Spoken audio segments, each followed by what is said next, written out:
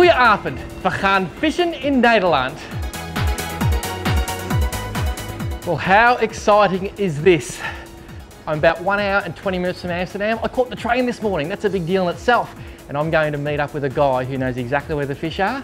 This place just rocks. I even saw a windmill. Catch that, a windmill in Holland. I like the look of this rain. They reckon these fish bite when it's wet. Ooh, and this has got to be a good sign. Everywhere I go, there's fish.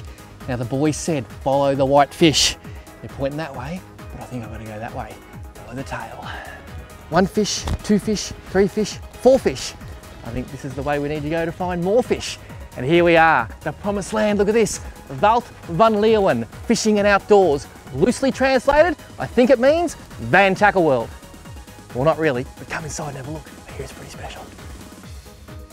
Wow, this is like Aladdin's cave. And I've got to admit, I'm a bit of a tackle rat. Anywhere I travel in the world, I always sniff out the tackle shop and check it out because you always find something you've never seen before. Look at that. There's all these bits for carp. They must fish for carp here. They're insane, the Dutch. Well, I already knew that because I'm just a little bit Dutch and a little bit crazy too. Oh.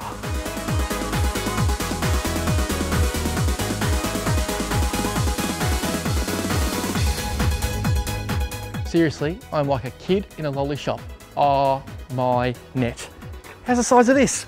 Hopefully, this is for the fish we're catching today because that is a serious net.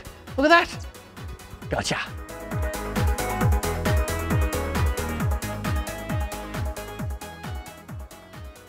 Well, there's an old saying, he who has the most toys wins.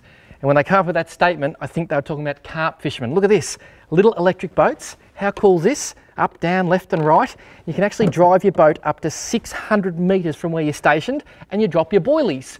Now you may wonder what boilies are. Well, these are your boilies.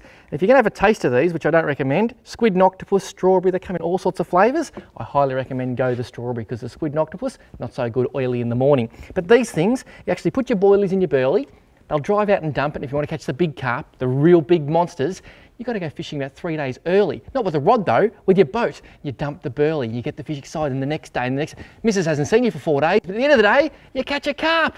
How lucky is that? Now, they say strawberry. Let me just, I tell you what, pretty good too. Boilies? Mmm, I think I'll leave them for the carp.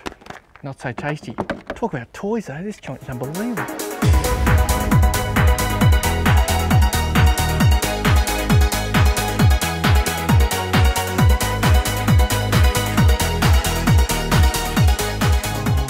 Is a good looking lure. Sorry it took me so long to get here. I've been walking around this shop. It is mind blowing. Now this is Carl Greve.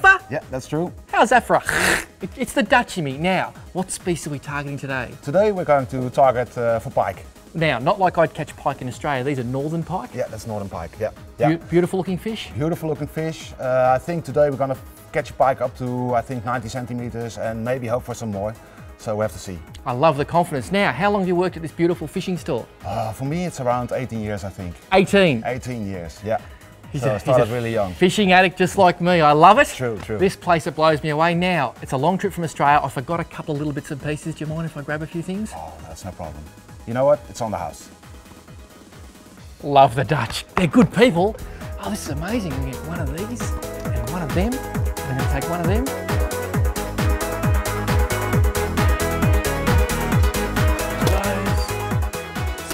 those, one of those. I think I finally got it all. Hello. Hello. Carl says this is all on the house. Goeiedag. Dag hoor. Do you think I got enough stuff? Oh, I think you have. There's eh? no problem. And seriously, what's with the shoes? Oh, I'll explain later.